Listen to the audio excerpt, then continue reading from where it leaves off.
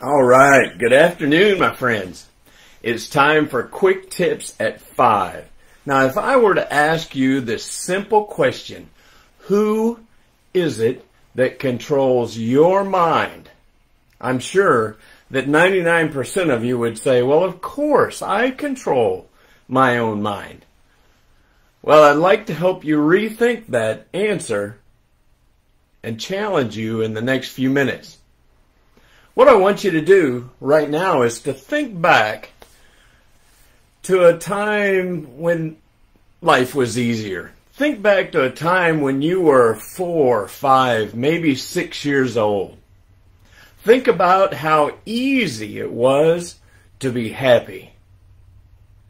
That most of your thoughts revolved around your quest to find out and to learn new things, to explore, to do something new and exciting. It's like the only reason that we became unhappy was when someone came in and stopped us from exploring and searching and finding something new. Or they took our favorite toy away from us. We were open to life. Completely open to the possibilities. We were open to the freedom of choices. We weren't consumed with what most people are consumed with today.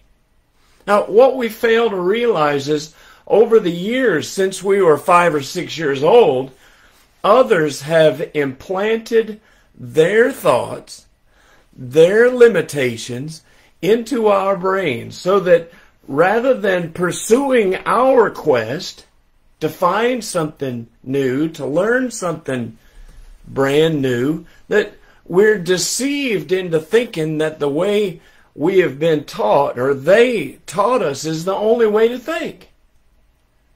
They've taken their restrictions and their thoughts and they put them into our minds.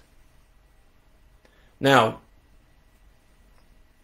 while we have accepted other other people's boundaries and their limitations to our existence, I believe that that's why there are so many thousands, hundreds of thousands of people who are depressed, filled with anxiety, and they're suffering, miserable, agonizing through the trauma of trying to live somebody else's life trying to think somebody else's thoughts.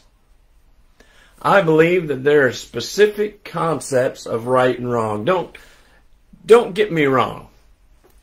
I, I do think that there is right and wrong. And, and from an early age, I think we understand those concepts.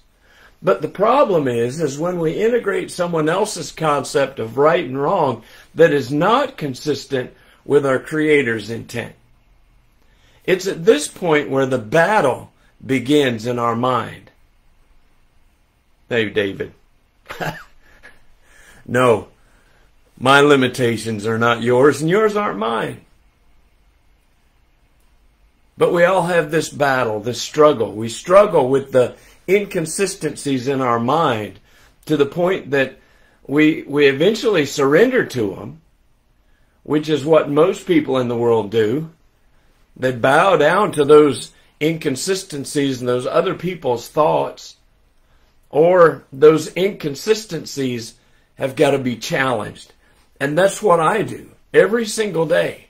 They need to be met with truth. Otherwise, depression and anxiety, unhappiness are the result of that unresolved struggle. Some of you are probably listening to me thinking, oh, he's never had a struggle like mine. He doesn't know what he's talking about.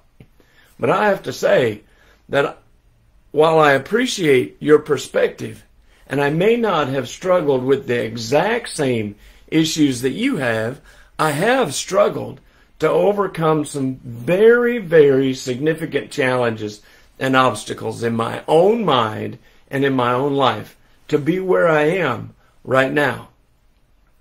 I do still today battle with some of those same things that each of you do. But I've come up with a strategy that allows me to strike a, a death blow to those thoughts when they creep into my mind. I do not allow them to stay and assault me. And you can too, with some help. Now, I hope this message is, has been helpful and stirred you to think just a little bit for yourself. You remember, like the five year old did.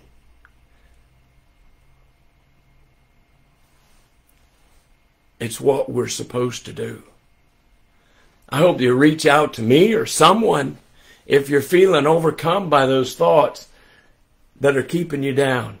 I hope you have a fantastic evening. I'll see you in the morning when I'm going to be talking about overcoming procrastination. Y'all take care. I love you. Mike out.